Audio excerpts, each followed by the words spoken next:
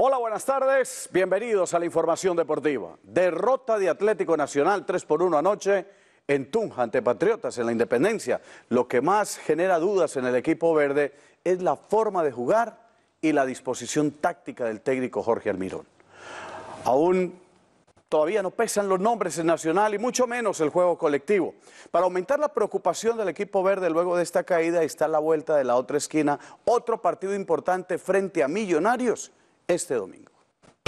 Estadio de la Independencia de Tunja, mucho frío. Carlos Ortega, el árbitro central, 8 mil personas para ver este partido que tenía muchas expectativas por ver Atlético Nacional frente a un Patriotas de rojo que empezaba a hacer historia. Aquí hay un penal ante Felipe Aguilar. Cobraría Dairo Moreno apenas comenzando el partido, minuto 5.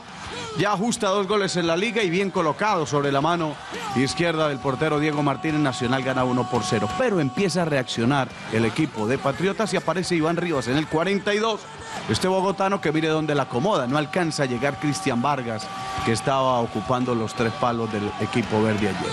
Vamos a ir a la segunda parte. Reacción del equipo de Patriotas en un mal partido de Atlético Nacional que nunca encontró la solución. Y aquí aparece Osval Álvarez en el 66, le llaman el Búfalo. Este chico es de La Guajira, 22 años, buen jugador. Y miren esta de Carlitos Mosquera en el 93. 2, 3, 4, Aguilar en el camino y al fondo de la red. Este no fue un gol, este fue un golazo de Mosquera, este chocuano que en el minuto 93 le dio el 3 por 1 a favor de Patriota. Nacional, muchas cosas todavía por ajustar.